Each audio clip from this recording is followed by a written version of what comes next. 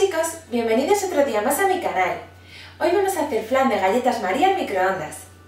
En solo 10 minutos vais a tener un postre delicioso con el que sorprenderéis a todos vuestros invitados. Espero que os guste mucho.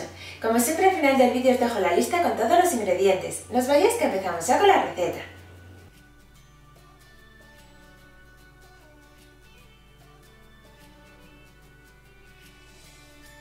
Primero vamos a caramelizar el fondo y las paredes de un molde apto para el microondas con caramelo ya preparado. Este molde que estoy utilizando tiene un litro de capacidad. Para hacer la mezcla del flan solo tenemos que echar todos los ingredientes en un recipiente. Las galletas las troceamos un poco con las manos para que sean más fáciles de triturar.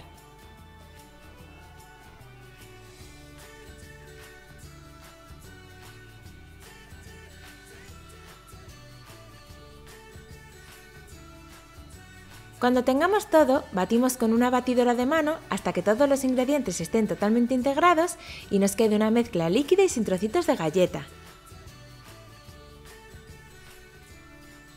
Una vez que lo tengamos listo, vertemos esta preparación dentro del molde. Para no remover demasiado el caramelo, la vertemos sobre el reverso de una cuchara para que caiga más suavemente.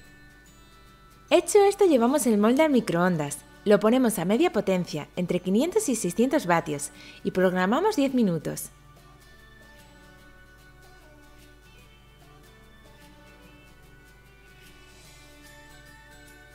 Pasado este tiempo sacamos el flan del microondas y dejamos que enfríe a temperatura ambiente antes de meterlo al frigorífico.